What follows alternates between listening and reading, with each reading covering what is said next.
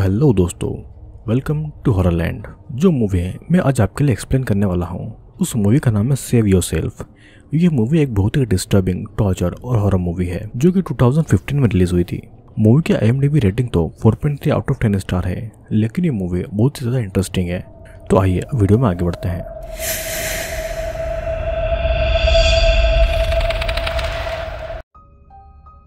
तो इस मूवी की कहानी शुरू होती है एक लड़की से जिसे एक सीरियल किलर लड़की ने कैद करके रखा हुआ था। सीरियल किलर ने उस लड़की के दोस्तों को भी मार दिया था और अब वो उस लड़की को ज़िंदा जलाने वाला था। तभी वहाँ पर उस लड़की की एक दोस्त आती है, उसे बचाने के लिए। और तब दोनों मिलकर उस सीरियल किलर लेडी को जान से मार डालते हैं। पर हमें यहाँ पर पता चलता है कि ये बस एक मूवी थी। इन सभी लड़कियों ने मिलकर नाव शोविंग नाम की एक मूवी बनाई थी, जो थिएटर पर रिलीज़ हुई थी। और इस मूवी को बहुत से लोग पसंद भी कर रहे थे। इन सभी लड़कियों का नाम था किम, सारा, टीसा, कैली और क्रिस्टल। और यहाँ पर साशा, मूवी की डायरेक्टर थी, लेकिन उसे अपनी फ़िल्म से सेटिस्फेक्शन नहीं मिला था। तो इसीलिए वो मूवी हॉल के बाहर खड़ी हुई थी। बाहर हम कई सारी लड़कियों की मिसिंग पोस्टर को भी देखते हैं, जिससे हमें पता चलता है कि इस शहर में यंग लड़कियाँ मिसिंग होती है, जो कभी भी नहीं मिलती है। मूवी खत्म होने के बाद में बाकी की लड़कियाँ अपना फैंस को ऑटोग्राफ दे रही थी। वहाँ पर सिल्विया नाम की एक लड़की भी उनका ऑटोग्राफ लेती है, जो कि थोड़ा नर्वस दिख रही थी।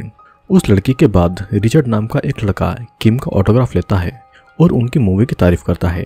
रिचर्ड किम के साथ में फ्लर्ट कर रहा था और वो किम को अपने साथ पार्टी पर चलने के लिए इनवाइट करता है। लेकिन किम का कुछ छोटी प्लान थे तो इसीलिए वो रिचर्ड को पार्टी के लिए मना कर देती है। यहाँ पर टीसा बाथरूम में एक लड़की के साथ में इंटीमेट हो रही थी। जब दोनों बातें कर रहे थे, तभी वहाँ पर सिल्विया आती है। और तब वो लड़का बाहर चला जाता है। सिल्विया टीसा की फ़ैन थी और वो टीसा को एक सिंगर की सीडी गिफ्ट करती है। वो दोनों कुछ देर बातें भी करते हैं। अब यहाँ पर रिचर्ड साशा के साथ में फ्लर्टिंग करके उसे एक पार्टी के लिए इन्वाइट करता है। साशा पहले तो उसे मना कर देती है, क्योंकि आज उन लड़कियों का प्लान था कि एक साथ टाइम स्पेंड करेंगे। तभी वहाँ पर टीसा आती है और वो उन लड़कियों का नाइट आउट का प्लान एक घंटे के लिए पोस्टपोन कर देती है, क्योंकि टीसा को अभी किसी लड़के के साथ में कुछ टाइम स्पेंड करना था। तब साशा एक घंटे के लिए रिचर्ड के साथ में टाइम स्पेंड करने के लिए थिएटर के बाहर चली आती है और वहाँ पर वो रिचर्ड के साथ में बातें करने लगती है। फिर कुछ देर बाद बाकी की लड़कियाँ बाहर आती है और वे लोग अपने डेस्टिनेशन के लिए निकल जाते हैं, जहाँ से पहले टीसा सिल्विया को बाय बोलकर जाती है और सीडी के लिए उसे थैंक यू भी बोलती है। फिर आधे रास्ते जाने के बाद में साशा अपनी कार एक गैस स्टेशन पर रुकती है और स्मोकिंग के लिए बाहर निकलती है। बाकी की लड़कियाँ सो रही थी तो इसीलिए उनको उस टाइम कुछ पता नहीं चलता है। फिर कुछ देर बाद जब सब लोगों की नींद खुलती है तो उनको पता चलता है कि साशा बहुत देर से बाहर नहीं आई है। लड़कियाँ बाहर जाकर चेक करती है, लेकिन उन्हें कुछ भी नहीं दिखता है। तभी कैली को याद आता है कि उस समय वहाँ पर एक कार खड़ी थी, जो कि अब वहाँ पर नहीं है। तो हो सकता है कि उस कार के पर्सन ने ही साशा को कुछ नुकसान पहुँचाया होगा। साशा के लिए वे लोग पुलिस को कॉल नहीं कर सकते थे, क्योंकि चौबीस घंटे पहले पुलिस किसी भी मिसिंग पर्सन को नहीं ढूंढेगी। तो इसलिए कैली किम और क्रिस्टल कुछ दूर जाकर साशा को ढूँढने का सोचते हैं और वहीं पर टीसा कार में रुकती है ताकि अगर साशा कार के पास में आए तो वहाँ पर उसके पास कोई रहे। फिर अब ऐसे ही सुबह हो जाती है और तीनों लड़कियाँ एक फार्म तक आ जाती हैं और अब तक उनको साशा कहीं भी नहीं मिली थी और ना ही साशा कार के पास में वापस आई थी। तीनों लड़कियाँ फार्म के पास बने एक घर तक आती हैं, जहाँ पर वे तीनों साशा के बारे में पूछने के लिए घर का डोर नॉक करने वाली थी कि तभी घर की मालकिन हैदर उनके सामने आती है। जिससे लड़कियाँ साशा के बारे में पूछती है। लेकिन हैदर से उनको साशा के बारे में कुछ भी पता नहीं चलता है। और उस समय हैदर का हस्बैंड क्रिस उनके सामने आता है। क्रिस को लड़कियाँ उनकी मिसिंग फ्रेंड साशा के बारे में बताती हैं। तभी क्रिस उनको घर के अंदर इनवाइट करता है, ताकि वे लोग वहाँ पर चाय पिए और वे लोग उनको अपना फ़ोन ऑफ़र करता है पुलिस को बुलाने के लिए। फिर घर के अंदर लड़कियों को कुछ अनकंफर्टेबल फील हो रहा था, लेकिन क्रिस उनके साथ अच्छे से बातें कर रहा था। हैदर उनको चाय देती है और किम और कैली चाय पीने लगते हैं। क्रिस्टल फिर क्रिस के साथ में ऊपर के रूम में जाती है पुलिस को कॉल करने के लिए। और उस रूम में क्रिस्टल को ह्यूमन की बॉडी के कुछ डायग्राम मिलते हैं। क्रिस से उसे पता चलता है कि क्रिस एक सर्जन है। क्रिस्टल जब फ़ोन करने के लिए फ़ोन उठाती है तो फ़ोन की लाइन कटी हुई थी। और उसी समय क्रिस्टल को बाहर से किम और केली के चिल्लाने की आवाज़ सुनाई देती है। और तब क्रिस्टल समझ जाती है कि इस फैमिली में कुछ ना कुछ प्रॉब्लम ज़रूर है। लेकिन वो कुछ कर पाती, उससे पहले क्रिस उसे मारकर बेहोश कर देता है। फिर इधर किम और कैले भी बेहोश पड़े हुए थे, क्योंकि हैदर ने उनकी चाय में बेहोशी की दवा मिलाई हुई थी। दूसरी तरफ़ टीसा परेशान हो रही थी, क्योंकि उसके फ्रेंड्स वापस नहीं आ रहे थे। टीसा को अपनी कार के पास किसी और की भी कार दिखाई देती है, जिसे देखने के लिए बाहर आती है। फिर कार के बाहर आते ही टीसा को अजीब अजीब आवाज़ें सुनाई देती है और गैस स्टेशन का डोर अपने आप ही बंद हो रहा था। तो इसलिए टीसा उस जगह पर नहीं रुकती है। और अपने फ्रेंड को ढूँढने के लिए, वो उसी डायरेक्शन में आगे बढ़ती है। फिर कुछ देर के बाद में टीसा अपने घर तक आती है, लेकिन वो क्रिस के सामने नहीं आती है और एक जगह पर छुप जाती है। क्रिस और हैदर की बातें सुनकर वो समझ जाती है कि उन दोनों ने ही लड़कियों को कुछ किया हुआ है और उनके जाने के बाद में टीसा अपने आसपास कुछ लड़कियों के ग्रेव को भी देखती है और ये सभी लड़कियाँ अपनी यंग एज में ही मर चुकी थी। एथम, क्रिस्टल और किम को बेसमेंट में कैद देखते हैं और उनके पास उस समय कैली नहीं थी। और ना ही वहाँ से निकलने का उन्हें कोई रास्ता मिल रहा था। तभी उनको बेसमेंट में एक लिसा नाम की लड़की दिखती है, जो कि बहुत टाइम से वहाँ पर कैद थी और उसकी हालत बहुत ही खराब थी। दूसरी तरफ़ टीसा क्रिस के घर में घुस चुकी थी और उस समय क्रिस और हैदर लड़कियों के बारे में बातें कर रहे थे। टीसा चुपके से फ्लोर के ऊपर तक जाती है और किचन से हैदर को भी ऐसा लग रहा था, जैसे कि घर में कोई घुस गया है। टीसा वहाँ पर पकड़ी जाती है, लेकिन उस समय सिल्विया टीसा को अपने रूम में छुपा देती है। फिर यहाँ पर हमें पता चलता है कि सिल्विया ने टीसा को जो सीडी दी थी, उसमें उसने उनके खतरे के बारे में उन्हें वॉर्न किया था, ताकि वे लोग उस फार्म में न जाएँ। और अगर टीसा वो सीडी देखती तो आज वे लड़कियाँ क्रिस के हाथों नहीं फंसती। यहाँ पर हमें ये भी पता चलता है कि सिल्विया क्रिस और हैदर की बेटी है। सिल्विया जब हैदर से बातें कर रही थी तो टीसा बाकी की लड़कियों को घर में ढूंढ रही थी। फिर यहाँ पर क्रिस, शाशा को बेसमेंट पर फेंक कर चला जाता है। ने साशा की स्पाइन के साथ में कुछ तो किया था, जिससे कि उसकी हालत बहुत ही बुरी हो गई थी। फिर कुछ टाइम बाद टीसा बेसमेंट के बाहर तक आती है और अपने दोस्तों को आवाज़ लगाती है। और उन्हें वहाँ से निकालने के लिए टीसा बेसमेंट की चाबी ढूँढने के लिए वहाँ पर जाती है। लेकिन किम टीसा को टाइम वेस्ट करने के बजाय वहाँ से भागकर पुलिस को वहाँ पर लाने को कहती है। नहीं तो वो सब क्रिस और हैदर के हाथों मारे जाएँगे। फिर मजबूरी में टीसा को वहाँ से भागना पड़ता है। बाहर टीसा को क्रिस दिखाई देता है। लेकिन टीसा क्रिस पर हमला करके रोड की तरफ़ चली जाती है। रोड की तरफ़ उसे रिचर्ड की कार दिखती है, लेकिन उससे कोई फ़ायदा नहीं होता है, क्योंकि रिचर्ड क्रिस का ही बेटा था, और उसके बाद में रिचर्ड क्रिस को मारकर बेहोश कर देता है। इधर लिसा और किम को क्रिस्टल से पता चलता है कि क्रिस लड़कियों की स्पेन से एक लिक्विड निकालता है, और धीरे धीरे एक समय के बाद में भी लड़कियाँ मारी जाती हैं। लेकिन क्रिस ये लिक्विड क्यों निकालता है, ये हमें आगे पता चलेगा। तभी वहाँ पर क्रिस आता है, क्रिस्टल को बचाने के लिए। और किम खुद को क्रिस के हवाले कर देती है। लेकिन क्रिस क्रिस्टल को अपने साथ में ले जाने की कोशिश करता है और मौका देखकर किम क्रिस के ऊपर हमला करती है और तब दोनों लड़कियाँ बेसमेंट से बाहर की तरफ़ भागती है। हैदर भी उनकी आवाज़ सुनकर समझ जाती है कि क्या हुआ होगा। तो इसीलिए वो रिचर्ड को भेजती है दोनों लड़कियों को पकड़ने के लिए। किम पासी के एक घर में चली जाती है, लेकिन वो क्रिस का ही घर था, जहाँ पर बहुत सारी लड़कियों की डेड बॉडी पड़ी हुई थी, जिनको क्रिस और उसकी फैमिली ने ही मिलकर मारा हुआ था। और वहीं पर किम को केले की भी डेड बॉडी दिखाई देती है। उन सभी लड़कियों की स्पाइन से वो लिक्विड निकालकर उनको मार दिया गया था। तभी वहाँ पर क्रिस आता है और किम उस पर हमला करके वहाँ से भागने की कोशिश करने वाली थी। लेकिन क्रिस पहले ही किम को इलेक्ट्रिक शॉक देकर उसे बेहोश करके अपने साथ में ले जाता है। यहाँ पर क्रिस्टल रिजर्ट का एक ट्रैप में फंस जाती है और भाग नहीं पाती है और ज़मीन के अंदर गिर जाती है। क्रिस्टल रिचर्ड को रिक्वेस्ट करती है उनको छोड़ देने के लिए, क्योंकि उसकी एक छोटी सी बेटी थी।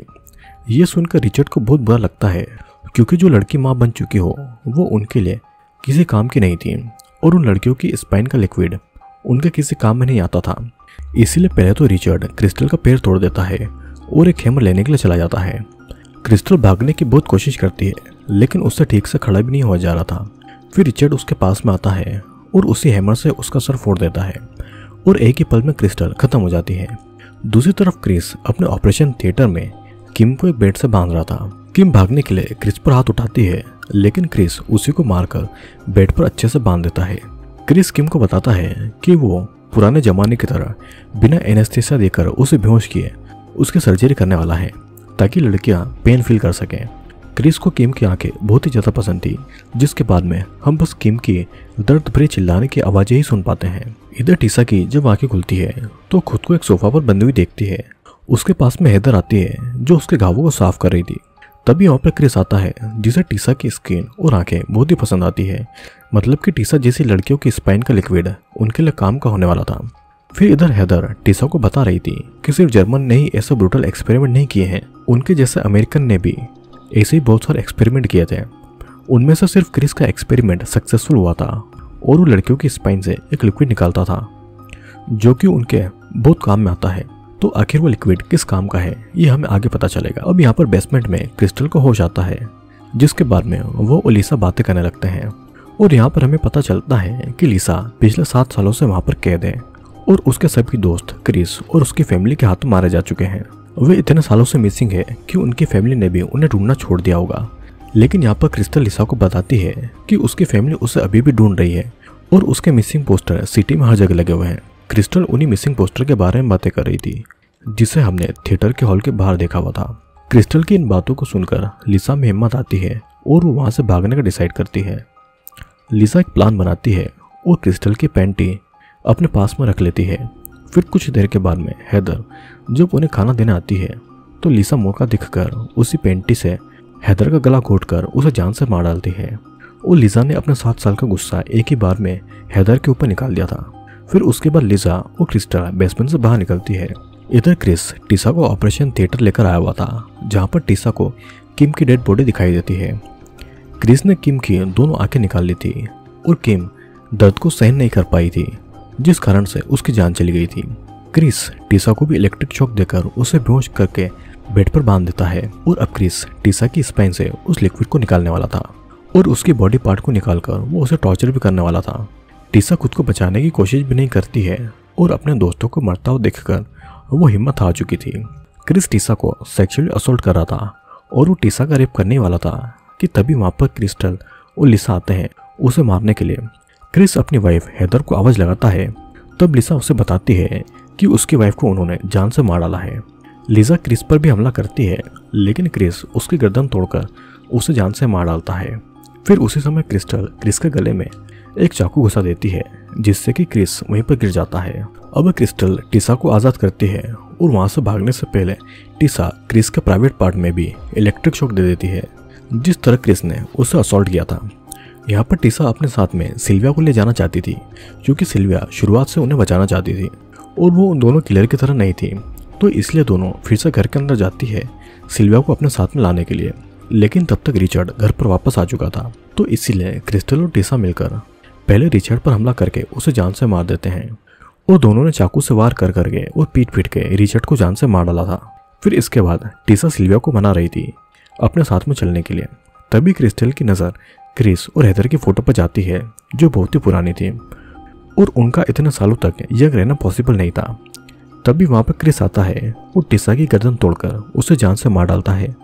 और टीसा के मरने से सिल्विया भी बहुत ही दुखी होती है। यहाँ पर क्रिस से क्रिस्टल को पता चलता है कि वे लोग हिटलर के समय से ज़िंदा है, जो कि अभी तक बुढ़े नहीं हुए थे। क्रिस ने किसी एक्सपेरिमेंट के ज़रिए अपनी फैमिली को यंग रखा था, और मौका देखकर क्रिस्टल वहाँ से भागने लगती है, और क्रिस उसके पीछे चला जाता है। लेकिन थोड़ी ही दूर पर क्रिस क्रिस्टल को पकड़ लेता है। सिलिम वहाँ पर एक हथियार लेकर आती है, लेकिन वो क्रिस्टल को नहीं, बल्कि अपने पिता क्रिस को ही जान से मार डालती है। क्रिस्टल भी गुस्से में एक चाकू से क्रिस पर कई सारे वार करती है, और मूवी के आखिर में बस क्रिस्टल और सिल्विया ही ज़िंदा बचते हैं, और उनके सभी दोस्त और वे दोनों किलर भी मारे जा चुके थे। फिर कुछ देर के बाद में हम क्रिस्टल को अलमारी के सामने देखते हैं, जहाँ पर उन मरी हुई लड़कियों के नाम से बहुत सारी बोतलें रखी हुई थी।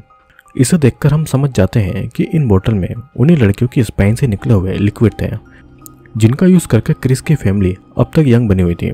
क्रिस्टल सिल्विया को वहाँ से भाग जाने को कहती है। नहीं तो पुलिस को इस जगह के बारे में और मर्डर के बारे में पता चलने के बाद सिल्विया भी फंस सकती थी। सिल्विया भी उसकी बात मानकर वहाँ से भाग जाती है। फिर इसके बाद क्रिस्टल उस पूरी जगह पर आग लगा देती है। सीन कट होता है और कहानी अब 10 साल के बाद से शुरू होती है, जहाँ पर हम क्रिस्टल को देखते हैं, जो कि अब एक बहुत बड़ी डायरेक्टर बन चुकी थी। उसके और उसके फ्रेंड के साथ में जो कुछ भी हुआ था, क्रिस्टल ने उनकी स्टोरी पर एक मूवी बनाई थी। लेकिन वो लोगों को ये नहीं बताती है कि ये उसकी रियल स्टोरी है। यहाँ पर मीडिया क्रिस्टल को इतने सालों बाद भी यंग देखकर बहुत हैरान थे। मतलब कि अब क्रिस्टल यंग रहने के लिए उन लिक्विड्स का यूज़ करती थी। यहाँ पर हम रेचल को भी देखते हैं, जो कि क्रिस्टल का पीछा कर रहा था। यानी कि वो हमले से बच गया था और अब वो दस सालों के बाद क्रिस्टल से अपने माँ बाप का बदला लेने वाला था। और इसी के साथ में ये मूवी यहीं पर एंड हो जाती है। तो दोस्तों, इस मूवी में हमने देखा कि कैसे कुछ लड़कियों का ग्रुप एक मूवी बनाता है, लेकिन मूवी के डायरेक्टर इस मूवी से सेटिस्फाइड नहीं थी। और उनके साथ में कुछ ऐसा होता है कि वो एक फार्म में फंस जाते हैं। वहाँ पर जाकर उन्हें उस फार्म के कुछ डार्क सीक्रेट पता चलते हैं। वहाँ पर रहने वाला क्रिस अपनी पत्नी के साथ मिलकर लड़कियों को पकड़ता था और वो उनके स्पाइन से एक लिक्विड निकालता था, जिससे कि वो सालों साल यंग रहते थे। हिटलर के समय पर जो एक्सपेरिमेंट हुआ करते थे, उन्हीं एक्सपेरिमेंट के चलते इन्होंने भी एक एक्सपेरिमेंट किया, जिससे उन्हें हमेशा यंग रहने का फॉर्मूला मिला और इसी से वो अभी तक यंग है। तो दोस्तों, मूवी आपको कैसी लगी, नीचे कमेंट में ज़रूर बताना। अगर आपको वीडियो पसंद आया तो वीडियो को लाइक और चैनल को सब्सक्राइब ज़रूर करना। मैं अब आपसे मिलूँगा अगले वीडियो में।